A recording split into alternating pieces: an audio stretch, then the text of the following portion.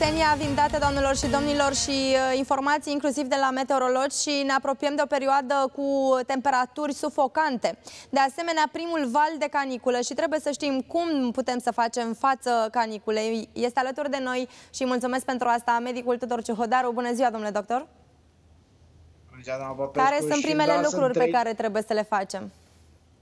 Sunt trei lucruri simple, haideți să, să rețină toată lumea. Apă, aer și răcoare. Și când vorbesc de apă, aer și răcoare, mă gândesc în principal la hidratare și hidros vine de la apă, nu de la băuturi alcoolice sau carbogazoase cu mult zahăr, care conțin și cofeină, pentru că ele vă deshidratează, iar până și o bere s-ar putea să vă pună în imposibilitatea de a aprecia corect riscurile legate de căldură când vorbesc de aer. Să știți că vorbesc despre ventilarea și aerisirea încăperilor în care locuim la primele ore la dimineții sau seara când se mai răcorește de pe vremea de afară, iar pe de altă parte este extrem de important pentru că aici lucrurile sunt uh, de fiecare dată puse sub semnul întrebării de a avea grijă de cei vârstnici și de cei mici. Și să știți că deja în aceste zile, apropo de răcoare, s-a întâmplat un lucru pe care nu am să-l aud. Nu lăsați copiii singuri în mașină și nici pe animăluțele de companie, pentru că să știți că la 32 de grade temperatura crește cam cu un grad pe minut și deja au fost primele victime ale căldurii în rândul celor mici. Este extrem de important să asigurăm și o alimentație corespunzătoare. Sunt fructe, legume proaspete, o alimentație hipocalorică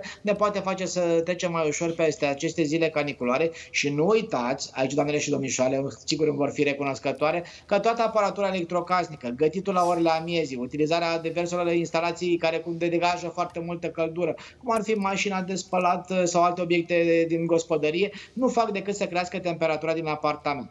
Atenție și cum hmm. setați aerul condiționat la 5 grade sub temperatura de afară și dacă nu-l aveți, vă dau și un pont. Puneți uh, apă cu gheață și un ventilator în dreptul ei și veți putea obține un grad de confort termic în locuință, mai ales că țineți cont, vârstnicii și copiii sunt cei mai vulnerabili, iar pe de altă parte cei ce muncesc în soare, la orele amiezii sau cei care, pe care invidiez sunt astăzi în zonele de agrement, la mare, la piscină și care pot uh, fi mm, primele victime ale căldurii. Și extrem de important, pe... patru măsuri simple care vă pot pot salva viața pe caniculă, duceți persoana respectivă într-un loc umbrit și recuros, scădeți temperatura corpului prin udat și ventilat, până și o revistă poate să fie un uh, ventilator în miniatură care să scadă temperatura corpului, asigurați hidratarea corespunzătoare, ceai, sucuri de fructe, apă și, evident, activitatea fizică se rea doar după câteva ore și o evaluare medicală.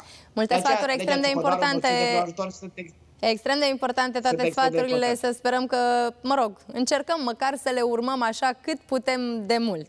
Mulțumim foarte mult, domnule doctor Ciuhodaru, pentru intervenție.